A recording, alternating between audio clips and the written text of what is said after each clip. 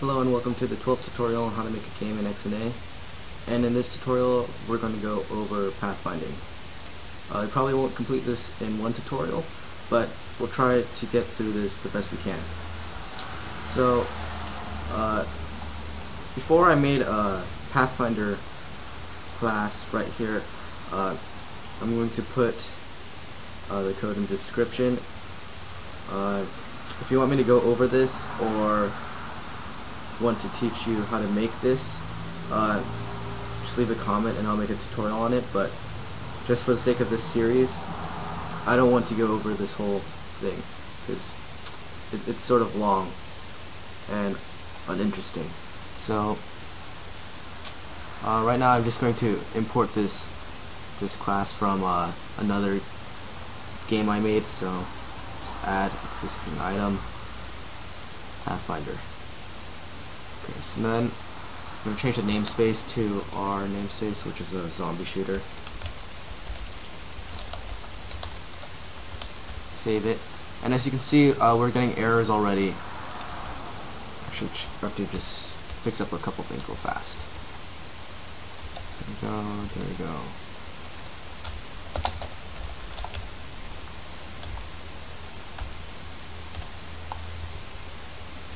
Okay. Uh, oops. Some of the things are named differently. And uh, one of the things is uh, we don't have a grid class. As you can see, uh, it's giving us some errors. It doesn't know what grid is. Just capitalize all these. So we're actually going to make that class right now. Uh, so grid, it's basically the A star. It works on a uh, a grid or cells. So everything is cell based. So we're going to use uh, square cells in this algorithm. So that's why I named it grid. It's uh, one grid piece. So I'm also going to actually I'm going to create a new class. Just call it grid. Okay. Uh, now we want to import all the XNA framework stuff. Okay, there we go. For that, we want to create some variables. Uh, public int g equals zero. Right now, this, if you don't know how the A star works, this might not make any sense to you right now. Why am I just making variables with random letters? Well, if you read uh, how the A star works, I'll put a link in the description. It'll all make sense if you really want this to be a point. Parent, point.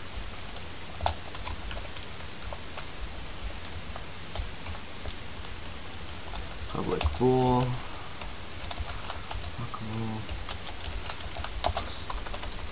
Equals false. The main things you want to know is uh, these booleans were, or that, that one boolean we just made, uh, walkable. So that basically just tells you if it's walkable or not. So it, basically it's saying if it's a wall or not. Can you walk through it? Let me just make a constructor. No, I mean a reset method. G equals zero equals 0, f equals 0, parent equals 0 point, 0, closed equals false. Okay, so that's the grid class. Hopefully we're not getting any, any errors. Okay. Alright This is not supposed to be stacked.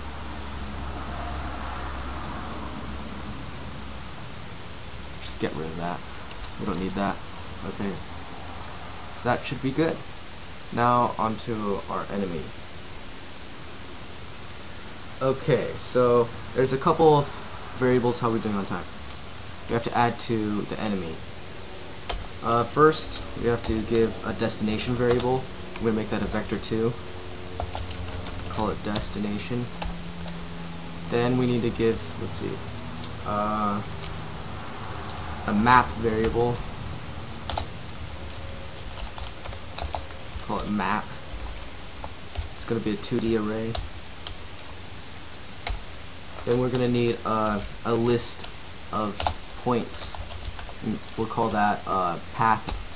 So basically, you know, on a GPS, how if if you say, okay, find shortest destination, and on the roads, it has like a little line path.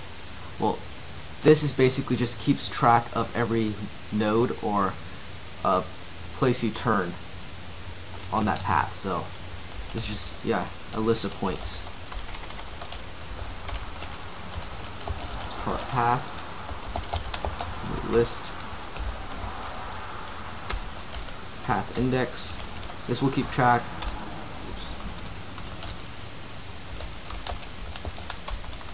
This will keep track of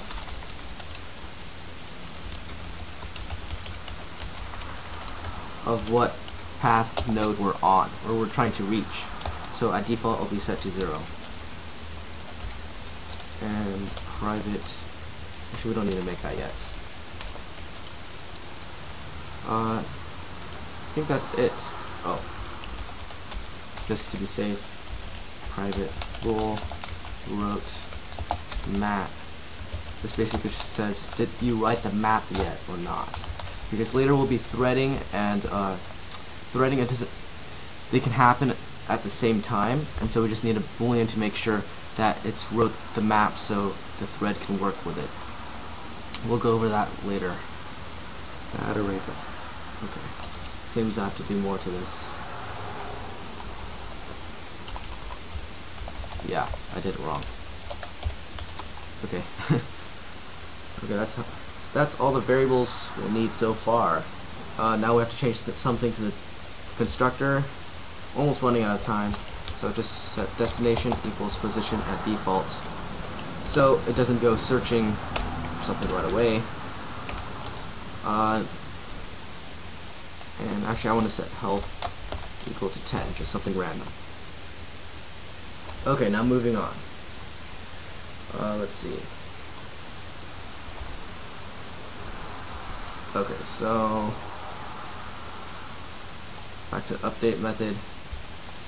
Actually, I want to put it if alive. If you're not alive, then you're going to return, not do anything. Okay, so Actually, I want to set, I do want to set this variable. Private bool queued. You spell that? Okay, there we go. So this will basically keep track of if it's queued or not. So, uh, actually, you know? I don't, I don't think we'll need this right now. Sorry. Okay, actually, let's uh, make another method called a move to destination. So let's just make it uh, actually right under the update method. So private void move to destination. Uh, it looks like we're almost running out of time, so we'll probably have to continue this in the next tutorial. Let's see. Okay, we still have some time. Okay, so in this in this method uh see if path equals equals null so if the path isn't set basically. Or if not is not declared I'm just gonna put return. Oops. So if the if you haven't read the map yet it's just going to return. So if path index is greater than path dot count and this is basically just so this is saying if the path index or if the current index or the current node it's on is is smaller than the path count which is how many nodes is in the path uh, list it's going to continue searching or continue following that path. So create another statement if we're going to create another method called step to point and what this will do is basically uh, just move in the direction or it's basically going to execute the push to method it's basically going to say push to and then if it successfully pushes to that uh, place without hitting anything or anything like that, it's going to return true. Or if it hasn't reached that destination, it's going to return true.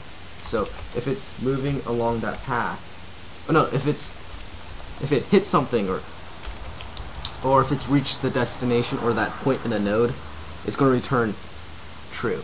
So it's going to make the path index increment by one. Else it's just going to keep uh, moving along and just skipping this. So path index and we're going to pass in an argument called or an argument and it's going to be uh, the current node. Then we have to make another method called step to point. Oh, looks like we're going way over. So, uh, hope you enjoyed this tutorial. I'd appreciate a rating and see you in the next tutorial.